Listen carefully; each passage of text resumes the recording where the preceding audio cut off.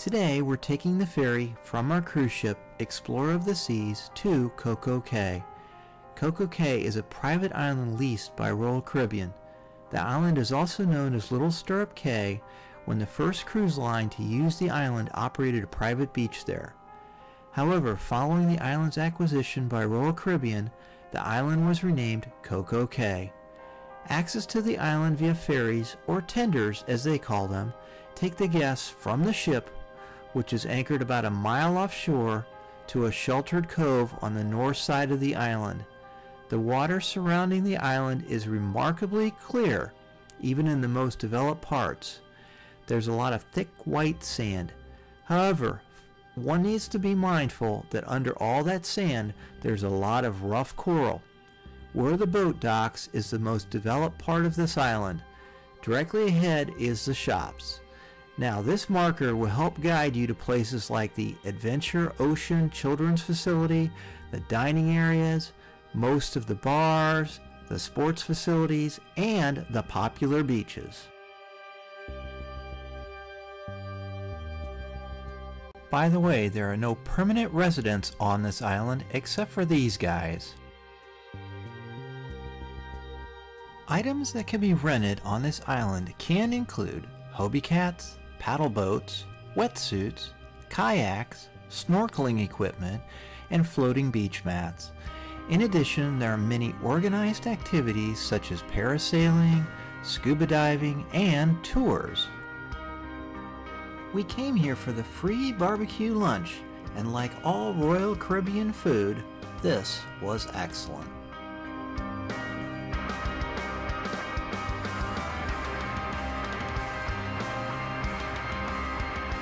Coco Cay is a mile long but only about 200 yards wide.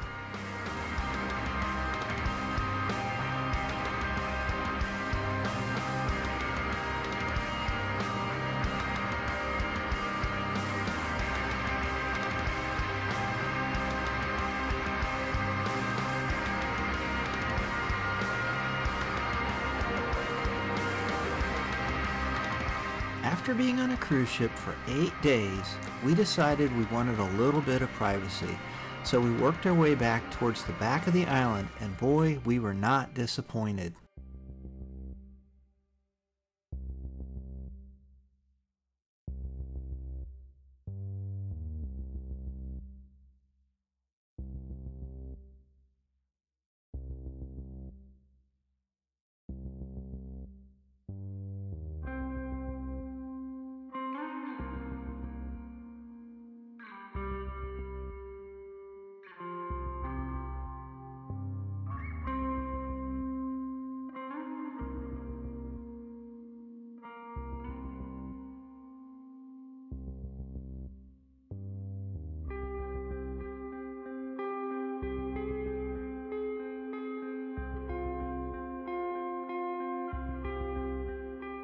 One of the many lifeguards way out there.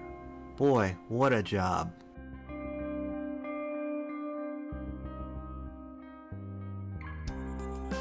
Here's a couple of stingrays just off the beach.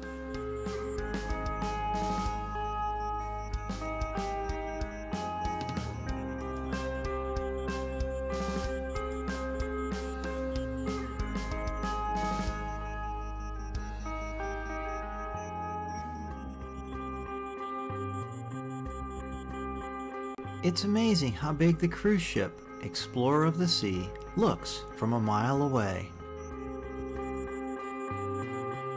It's time to bid farewell to Coco Cay and head back to our cruise ship.